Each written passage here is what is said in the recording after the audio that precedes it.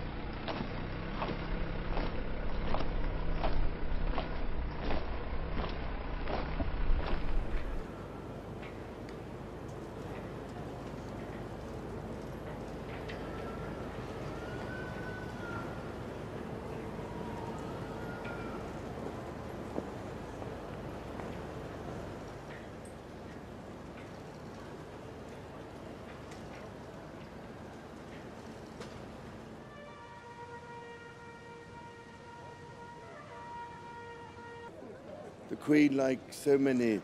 generations of our family before her, found in the hills of this land and in the hearts of its people a haven and a home. My mother felt, as I do, the greatest admiration for the Scottish people, for their magnificent achievements and their indomitable spirit.